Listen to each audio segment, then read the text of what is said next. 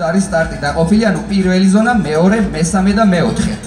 ზონებს ვიკავებთ იმის მიხედვით, თუ როგორ არის მითითებული ეს ჩვენ სანობრე ნიშანზე. ანუ სანობრე ნიშანზე აწერია ან 1, ან 2, ან 3, ან 4, ან არაფერი. არაფერი თუ არ აწერია, ანუ ზონის აღნიშნული ნომერი თუ არ გვაქვს, ეს ნიშნავს, რომ მეოთხე ზონაში ვდგებით.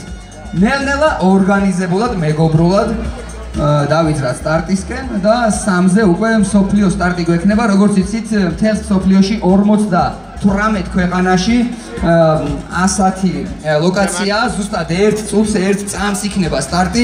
ავსტრიიდან თვალყურს გადაგვადევნებენ ყველას, მეგობრებო, ასე რომ მოკლედ მე წარმატებებს გისურვებთ. ვიყოთ ორგანიზებული ისე რომ ზუსტად 3 საათზე ვიყოთ სტარტზე და მზად ვიყოთ ნიშნის შემდეგ დავიძრათ და ვაჩვენოთ საუკეთესო შედეგი. ახლა ეს რამდენიმე საინტერესო ინფორმაციას მოგასვით და შეგიძლიათ მომისმინოთ. მოკლედ წელსაც მინდა გითხრათ რომ